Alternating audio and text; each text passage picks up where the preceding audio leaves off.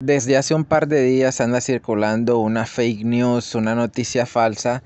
Y por cierto, yo también me la había creído, pero después investigando un poquito más, pues es evidente que es una noticia falsa.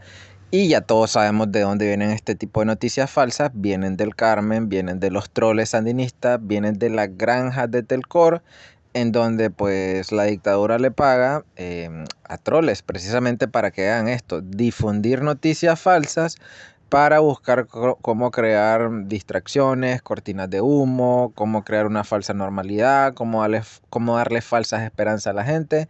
Y este es el objetivo, tratar de desviar la atención en lo realmente importante que se está dando eh, en los últimos días. Ok, dirán, ¿cuál es la noticia falsa? Como ya vieron en el video, se trata sobre, perdón, como ya vieron en la miniatura, se trata sobre eh, Rubén Darío y una película que supuestamente iban a filmar en agosto del 2024, es decir, ahorita ya, el próximo año. Y les leo cuál es la noticia falsa y lo peor que solo le dan copiar y pegar.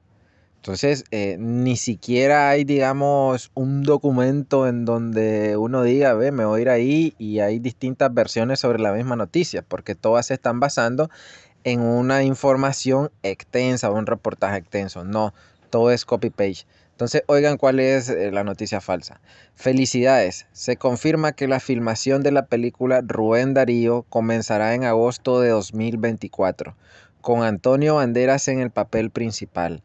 Gran parte de la película se rodará en las históricas ciudades de Granada y León, reflejando la vida del poeta, destacando su faceta como diplomático y hombre político junto con otros aspectos de su vida llena de romance y aventuras. El productor, un nombre raro, y su asesor cultural, eh, Pierre Charles Rolando, visitarán Managua para establecer los contactos necesarios. El proyecto tiene un costo inicial de aproximadamente 30 millones de dólares, financiado por bancos de Francia, Suiza y el Reino Unido, así como accionistas de canales de televisión españoles. El influente poeta nicaragüense Josué Bella como líder del modernismo y su legado literario perdura hasta hoy. Esto es la fake news que anda circulando en las últimas 48 horas. Eh, las distintas cuentas, eh, más que todo en Facebook, porque ahí nace esta eh, fake news, después creo que se extendió a TikTok, también algunos hicieron eco, y pues, pero comienza en Facebook.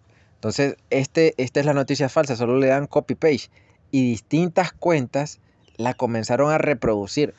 Ahí, pues yo no sé si es que realmente todas estas cuentas son, digamos, cuentas falsas, son, son bots, son troles o son sandinistas que tienen el cerebro lobotomizado, que lo que les digan ellos hacen, o también son em, personas que se dedican a esto, a difundir fake news y que el régimen les paga.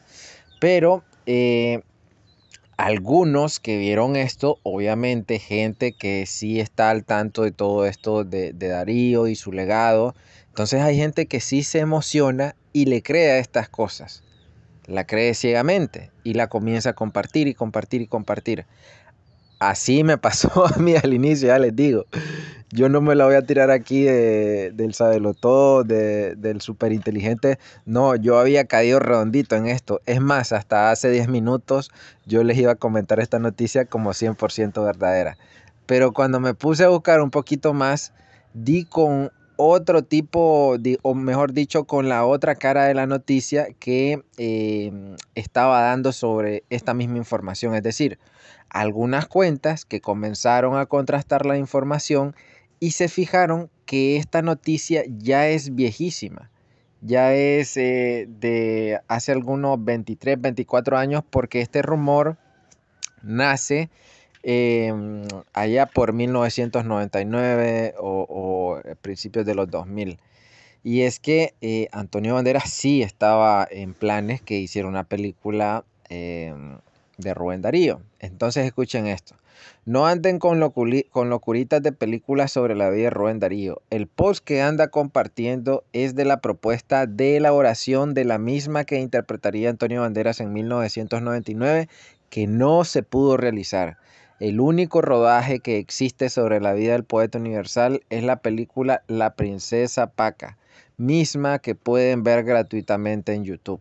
Entonces ahí lo tienen, es falso. Y aquí está otro post más extenso que hacía otro usuario en Facebook en donde, también está desmintiendo, por ejemplo aquí en esta parte. Ante la falta de seriedad en los posts, decidí indagar brevemente sobre esta noticia. La realidad es que, aunque en el año 2000 este productor visitó Nicaragua con la intención de realizar la película, nunca se materializó. Las únicas referencias que encontré datan del 99, hace ya 24 años. La búsqueda de una fuente actual resultó infructuosa, lo que plantea la interrogante sobre la veracidad de la información que circula en las redes sociales. Y después da un sermón ahí que no hay que andar cayendo en esta fake news. Ahí lo tienen pues, esta fue la última del régimen y esta es la magia de nuestros impuestos. Desvían una gran cantidad de millones de córdobas que deberían de ser usados realmente en cosas importantes para estarle pagando a sandinistas en Telcor o en otras instituciones de la dictadura sandinista para propagar noticias falsas por redes sociales, para monitorear a todos los nicaragüenses que critican a la dictadura en redes sociales. Y pues este es un ejemplo más. Bueno, muchas gracias, suscríbanse, compartan y hasta la próxima.